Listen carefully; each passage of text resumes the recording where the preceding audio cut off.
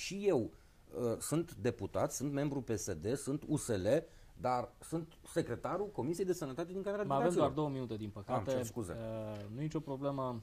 Uh, aș fi vrut să discutăm și de acea propunere, e adevărat, venită tot din comunitatea noastră, partea lui Dan Maș, care cunoașteți toți, de democratizare, să spunem, a vieții politice, uh, în ideea în care am avea competiție politică cu adevărat. Dar poate că o să, uh, la un moment dat, doar, împreună cu doar atât aș vrea și să cu vă aduc aminte, după 90, când da. în România existau cam câte formațiuni politice, nici nu mai știu numărul, erau peste 100. Bun, ea a fost după lovitura de stat, uh, când era entuziasmul, când... Da, eu zic că între timp ne-am mai maturizat. Respect poziția uh, domnului Dan Mașca, el este foarte activ în, uh, în zona aceasta ONG, inițiativa este interesantă, poate fi dezbătută, dar doar atât am ținut să vă spun, să vă aduc aminte perioada după 90, când în România aveam pe, fie, pe fiecare stradă sau scară de bloc cât un partid. Păi, bun, ă, după 90 aveam în fiecare scară de bloc câte un mini ABC. Da, e, nu le mai avem. Eu cred că ne-am maturizat și că avem nevoie, din păcate, uitați, de asta doar 40% au ieșit la vot, pentru că nu avem cu adevărat competiție politică. Ă, în final și 20 de secunde comentați ce vă citesc. Eu am găsit uh, un pasaj nemaipomenit o jurnalistă americană la București, adevărat, în vara lui 1940. R.G. Waldeck uh, a avut o discuție la București cu doi foști miniștri în vara lui 1940. Aceștia din urmă i-au descris ziariste americane corupția clasei politice românești, din care doar două nume importante făceau o notă discordantă, una dintre ele fiind al generalului Antonescu.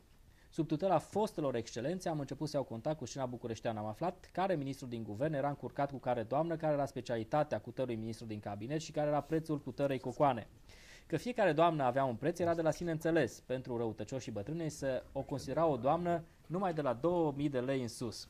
Același lucru era și cu oamenii politici. Ei aveau un preț, iar dacă prețul era destul de ridicat, puteau fi considerați bărbați de stat. Erau totuși excepții printre bărbații de stat. Fostele excelențe mi-au vorbit despre doi dintre cei care nu primeau bani. Iuliu Maniu, șeful fostului partid țărănesc, în opoziție timp de 10 ani, celălalt, generalul Ion Antonescu, fost cândva ministru de război. Ai vorbit singur tot în distanța. Te-ai zis Dacă, tătă. No, te rog. Dacă faceți legătură la femei și la politicieni și la un preț, oare să mă gândesc la Elena Udrea? În ceea ce mă privește, eu merg puțin mai departe și mi-am amintesc de jurnalistica lui Mihai Eminescu. Și pe vremea lui era tot aceeași corupție. Deci, din punctul ăsta de vedere, Eliade avea dreptate. Este incredibil cât de, mult de, cât de multă energie inutilă se poate cheltui în țara asta pentru politică. Da.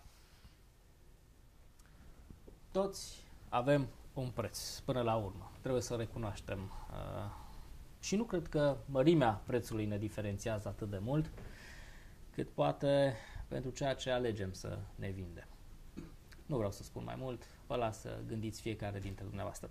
Le mulțumesc colegilor mei, Vali Rusu, jurnalist, îi mulțumesc lui Florin Buicu pentru faptul că a avut curajul să vină să stea de vorbă cu noi și cu dumneavoastră. Uh, vă reamintesc că imediat după știri vă întâlniți cu Emil Sabău și colegii mei de la Universitatea Petru Maior. Le mulțumesc de asemenea colegilor Torel Rus, Raimund Botaș și Călin Podaru. O seară plăcută tuturor, rămâneți alături de TV.